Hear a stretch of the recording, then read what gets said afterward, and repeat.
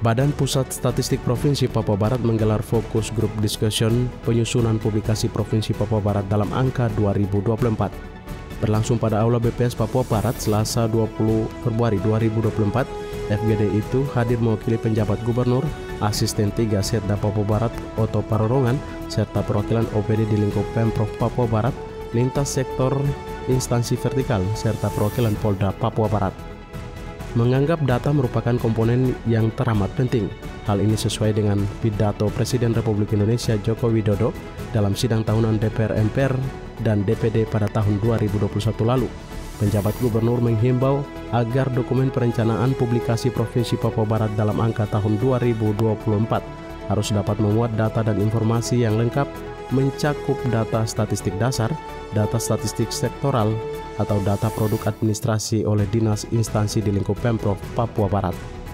Sementara itu, Kepala Badan Pusat Statistik Provinsi Papua Barat Insinyur Mary MP mengemukakan Peraturan Presiden Nomor 39 Tahun 2019 tentang satu data Indonesia yang diterbitkan dengan harapan tata kelola data pemerintahan dapat menghasilkan data yang akurat serta dapat dipertanggungjawabkan memenuhi prinsip satu data Indonesia, peran BPS sebagai pembina data, Dinas Kominfo Perstatik sebagai wali data di daerah, dan OPD lainnya sebagai produsen data.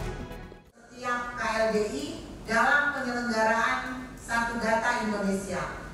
Badan Pusat Statistik sebagai pembina data statistik, Dinas Kominfo Persantik sebagai wali data di daerah, serta OPD-OPD lainnya selaku produsen data.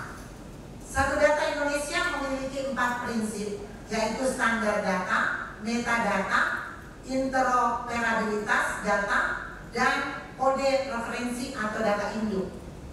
Standar data dan metadata dapat diakses pada portal Indonesia Data Hub atau INDA.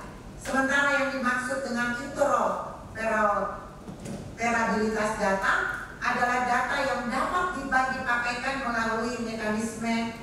Application Programming Interface. Berjalan dengan proses sinkronisasi data antara pihak BPS dan OPD di lingkup Pemprov Papua Barat, publikasi Papua Barat dalam angka 2024 terdiri dari 226 tabel, terbagi dalam 14 bab yang memuat geografis dan iklim serta perbandingan antara provinsi dengan sumber data sensus dan survei BPS dan data yang dihasilkan oleh data statistik sektoral dan instansi daerah yang menjadi harapan pemerintah daerah Papua Barat dari output FGD ini yaitu publikasi Provinsi Papua Barat dalam angka 2024 dapat menyajikan data dan informasi yang akurat, lengkap dan dapat dipertanggungjawabkan untuk mendukung perencanaan pembangunan. Dari Manokwari, Media Diskominfo Papua Barat melaporkan.